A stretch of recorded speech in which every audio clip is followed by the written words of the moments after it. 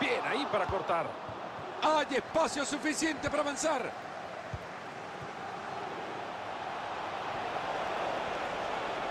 A ver en qué termina esto.